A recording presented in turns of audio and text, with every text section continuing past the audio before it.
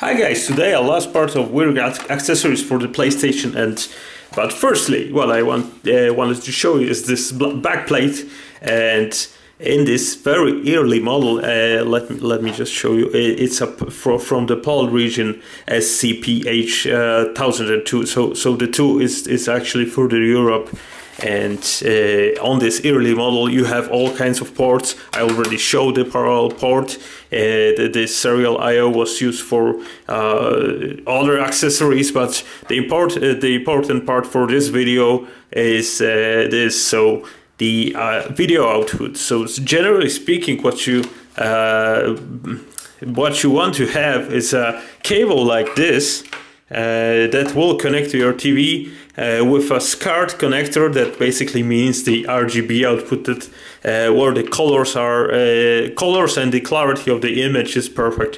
Uh, if you cannot have that, you would go to uh, to connect your TV with the this video out and the if you don't have a stereo TV at the, at the time, there were the TVs without stereo input. You would have to connect only the mono cable. Uh, this is obviously the composite, so uh, the, the quality is not really that great.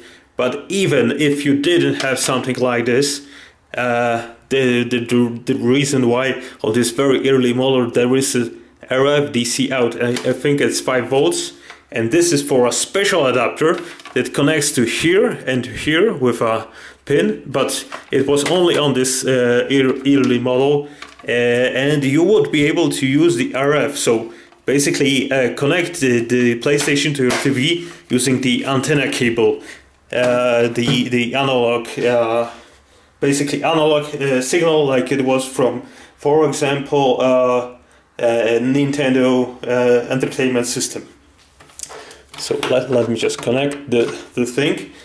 And today I will be showing you this. This is a China made uh, accessory that does exactly the same, but it does not require a DC in. So uh, it will allow you to connect uh, your PlayStation to a TV with analog uh, analog input uh, using the antenna connector it was made in 2003 if you uh, take a look at the back right here. So yeah quality check passed. And also it has uh, those connectors in case you don't want to have uh, these uh, at, at, at, the back of the PlayStation in use. I, I don't see any other reason. Uh, well let me just connect it and we will take a look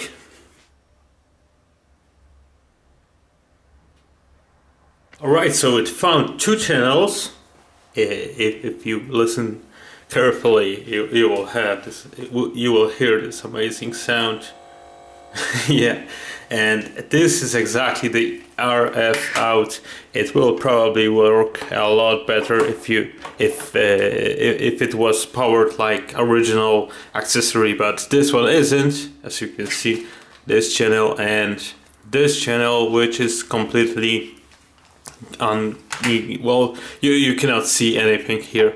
And um, well it, it works you can see everything but uh, let me give you a comparison. As you can see uh, the colors are all off and, and, and uh, th this is completely wrong.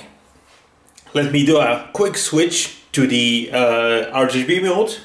There we go. Perfectly fine. Uh, let, let's try it some some game uh, so you can have a better understanding.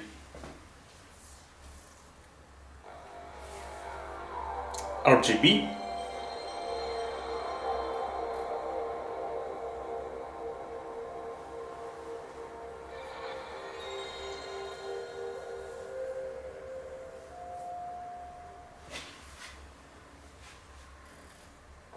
RF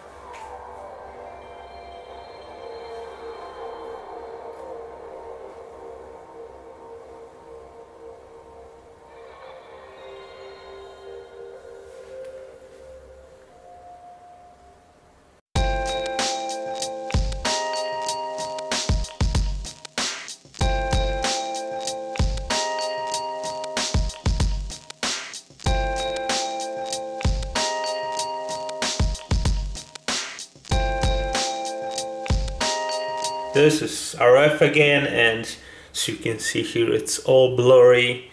Let me quickly switch to RGB see?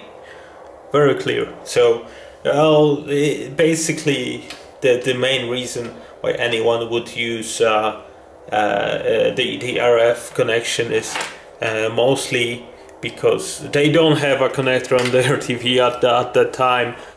Well maybe let's take a quick look inside Okay, so in this set uh, was this uh, basically changed to uh, RF antenna connector. At, at least uh, this is for Europe. I think in the in the US you have something like a coaxial connector, uh, and I already removed the screws. And like, let's take a quick pick inside.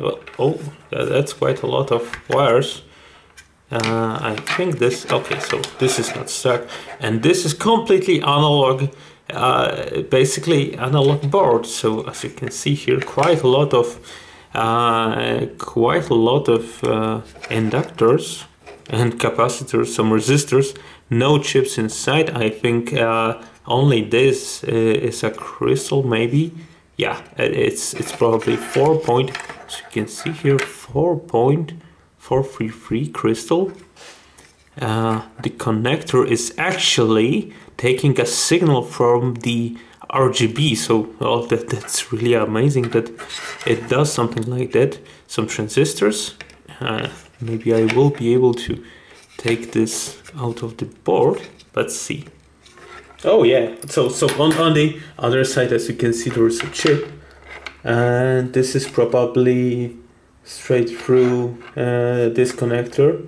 So so you can connect TTQ uh, uh, to the composite signal. Uh, let me read the name of the chip.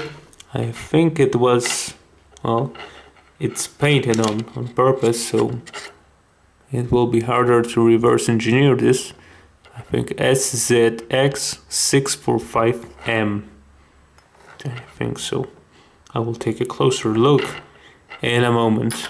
Okay, so I actually check and it's it is SZX1645M and M is the packaging and the oscillator here.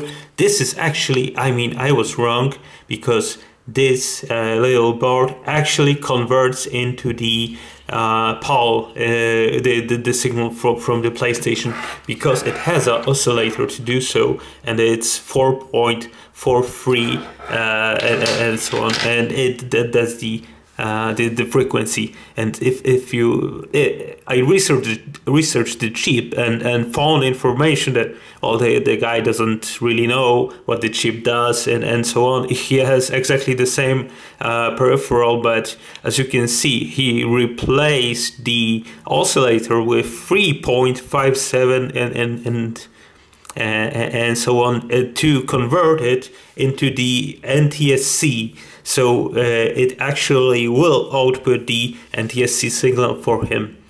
And uh, well, basically, yeah. And he was able to, to do the uh, do this, and and, and uh, the the output of this uh, board became the NTSC signal. So that if you research it by the uh, by the name of the chip, you surely will find this article. It's it's in Thai, uh, but you should be able to to to, to find this easily. Uh, okay, so that's it. Probably this uh, is some kind of regulation, maybe uh, the, the, the the signal or, or or the strength. But this is a very curious board because it doesn't have any uh, voltage input and nothing like that. So it's it is almost completely um, passive. So it's really amazing what it can do. So well, that, that's it. Thanks for watching, guys.